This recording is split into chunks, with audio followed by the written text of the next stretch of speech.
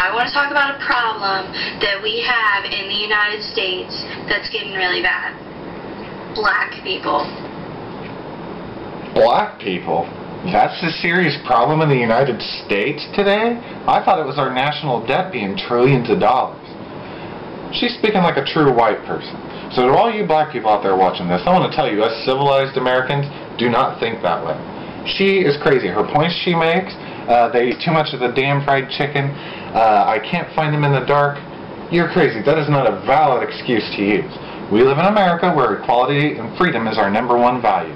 It should not matter your skin color, your sexual orientation, your religion, your social class. America is about equality. And crazy little idiots like this, who she probably grew up redneck anyway. I don't even know why why she would make a video over that with all the people that watch YouTube. Not only that, but I thought it was kind of funny. I saw this one guy on a video say, Bitch, you can't see me in the dark? I can't see you in daytime, you white-ass pasty bitch. Or it was something like that, but it was funny. I just want to applaud that guy right now because she is crazy, and I want to tell you, I love pe black people, and I am not a racist.